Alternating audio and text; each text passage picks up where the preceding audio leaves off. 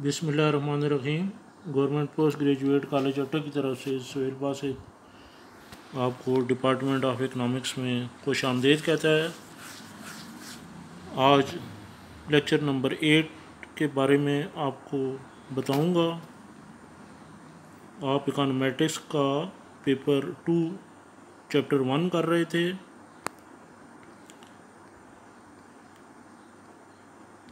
Last आपने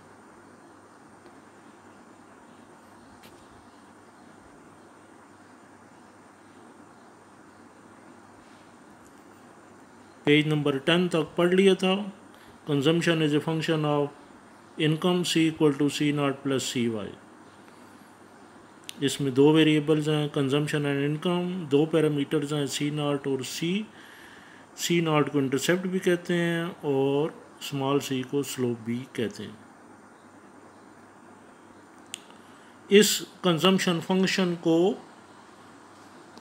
आप diagram के थ्रू शो कर सकते हैं taking income on X axis consumption on Y axis you draw a straight line starting from left to right upward sloping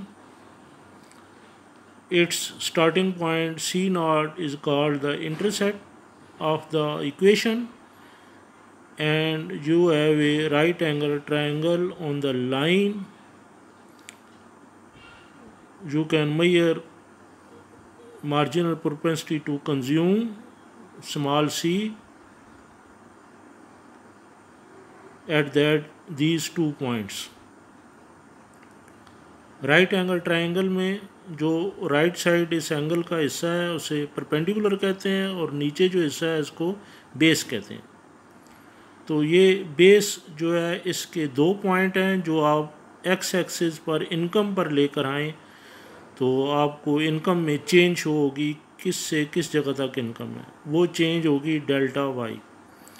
और जो perpendicular है, उसके स्टार्टिंग और एंड पॉइंट है। ये अगर पॉइंट आप कंजम्पशन की तरफ़ लेकर जाएँ तो आपको कंजम्पशन का स्टार्ट और एंड पता चलेगा। फिर डेल्टा सी आप निकाल सकते हैं।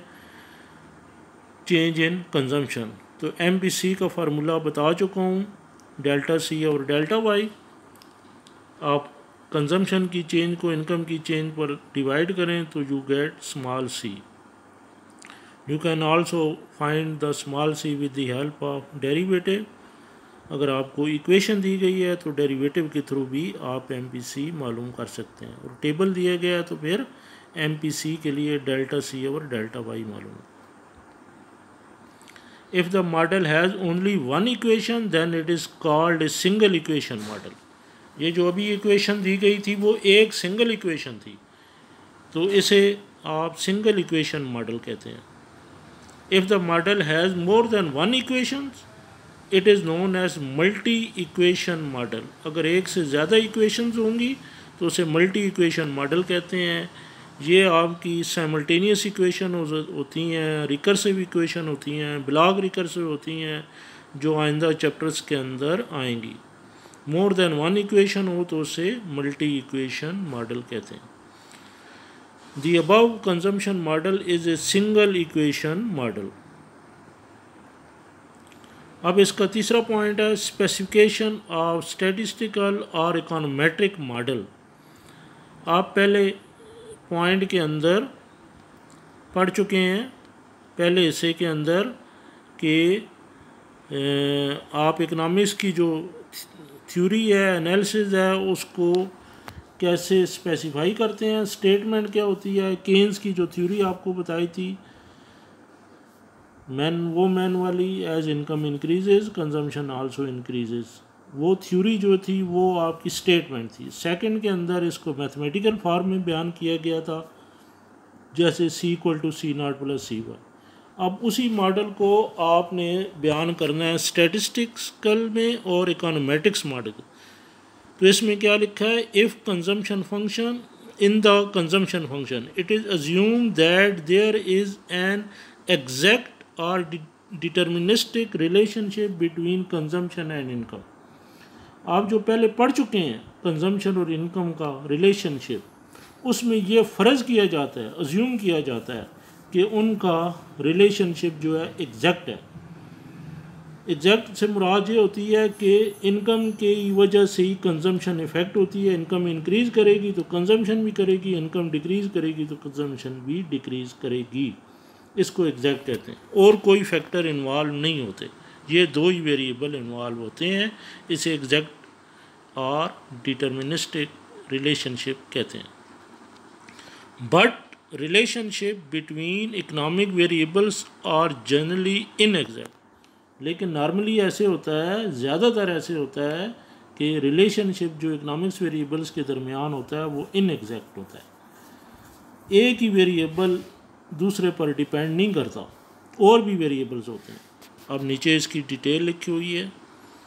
Thus if we were to obtain data on consumption expenditure and disposable income of a sample say 500 families and plot these data on graph we would not expect all 500 families observations to lie exactly on the state line तो इधर तक ये बयान किया गया है कि हम ये क्लियर करने के लिए इन एग्जैक्ट और इन एग्जैक्ट को तो एक सैंपल लेते हैं 500 फैमिलीज़ का 500 फैमिलीज़ हैं। 500 फैमिली से मुराद है 500 हाउसेज हैं। उनके आप घर जाएँ, उनका डेटा लें। जी, एक घर जाएँ, आपकी इनकम कितनी है और कंजम्पशन कितनी है एवरेज दूसरे घर जाएँ तो इनकम कितनी है कंजम्पशन कितनी है, तीसरे घर जाएँ इनकम कितनी है कंजम्पशन तो ऐसे 500 फैमिलीज़ के घर आप जाएँ। तो आपको डेटा कलेक्ट होगा, आप उसको अपनी कापी रजिस्टर पर नोट कर लें, फिर उसका ग्राफ बनाएँ। तो आप देखेंगे कि ये सारे पॉइंट जो आपका टेबल है, इनकम और कंजम्पशन का आपने 500 तक आपने लिया हुआ है। ये ग्राफ के ऊपर एक ही लाइन पर नहीं आते। मुराद ये होती है, कभी इनकम ज़्यादा होती है, कभी कंजम्पशन थोड़ी रफ्तार से ज़्यादा होती है, कभी ज़्यादा रफ्तार से ज़्यादा।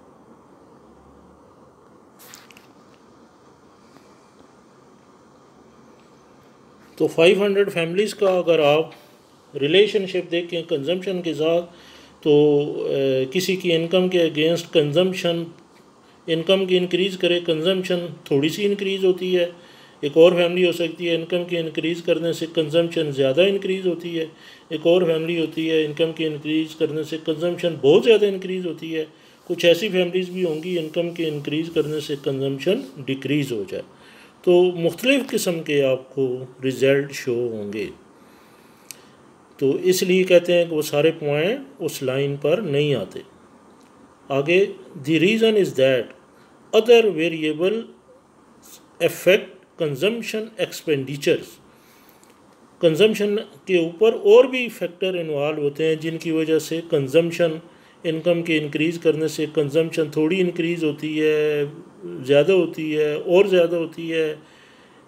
या वैसे ही कंजम्पशन इंक्रीज़ हो जाए, या वैसे ही कंजम्पशन डिक्रीज़ हो जाए, इसकी मुख्तलिफ़ रीज़न्स हो सकती हैं। For example size of family age of family members taste और इसी तरह और भी फैक्टर्स हो हो सकते हैं। साइज़ ऑफ़ फैमिली के अंदर अगर फैमिली का साइज़ छोटा है, थोड़े अफराद घर के हैं तो कंजम्पशन थोड़ी होगी। ज़्यादा फैमिली के अफराद हैं तो कंजम्पशन ज़्यादा होगी। एज ऑफ़ फैमिली अगर फैमिली की एज जो है वो यंग लोगों पर ज़्यादा है तो कंजम्पशन ज़्यादा होगी। ओल्ड एज ज़्यादा लोग हैं तो उनकी कंजम्पशन कम होगी। इसी तरीके से, जिस तरीके से टेस्ट अगर लोगों का डेवलप हो जाए, जिस चीज़ में उसकी कंजम्पशन ज़्यादा होती है और जिस चीज़ का टेस्ट डेवलप नहीं होता, उसकी कंजम्पशन कम होती है। सीजनल चेंजेस भी होती हैं, जिस, जो सीज़न जा रहा हो, उस सीज़न के हिसाब से कंजम्पशन ज़्यादा हो जाती है और विदाउट दैट सीज़न कंजम्पशन कम हो जाती है।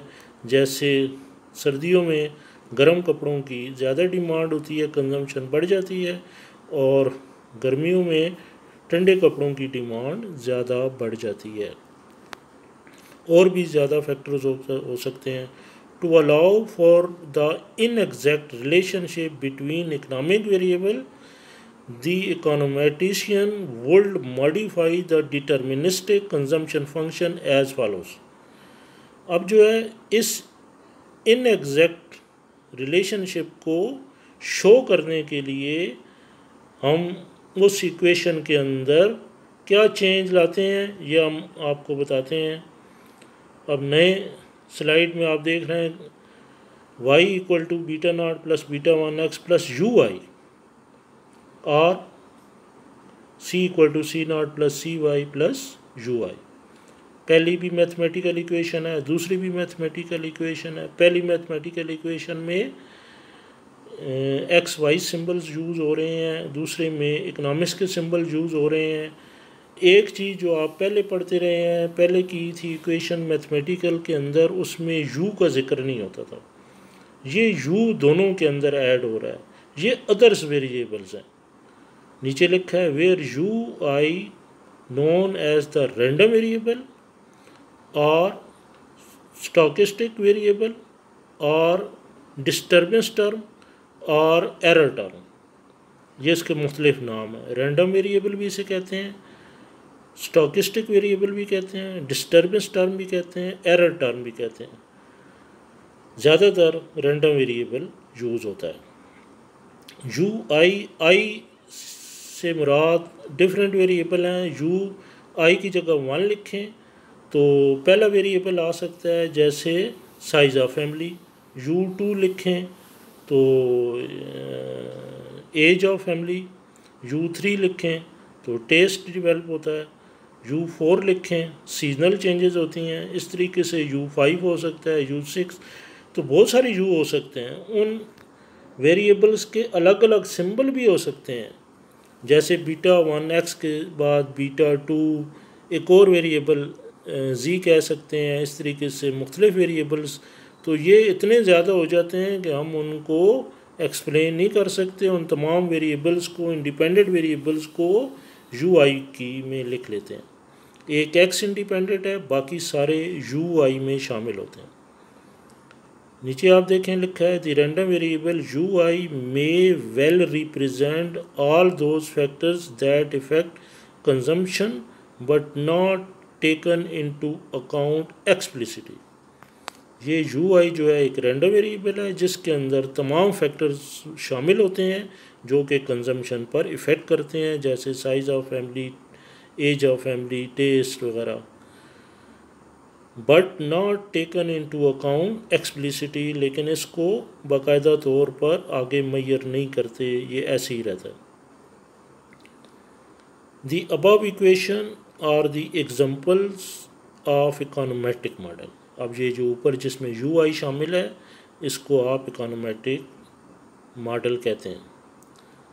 इकोनोमेटिक्स मॉडल जो है of consumption function can be shown in the figure below अब इस, आज के लेक्चर में आप आपको इसको इक्वेशन की सूरत, इसको ग्राफ की सूरत में बताएँगे कि ये जो मैथमेटिकल इक्वेशन है, जिसके अंदर इकोनोमेटिक्स वाली इक्वेशन आ गई है स्टेटिस्टिकली रैंडम वेरिएबल आ गया, इसको ग्राफ में कैसे शो करते हैं? वैसे तो एक्स और वाई होता है, और यू आई किस जगह शो हो रहा होगा? ये आपको नेक्स्ट लेक्चर में बताऊँगा। अल्लाह हाफिज़ बेस्ट ऑफ़ लक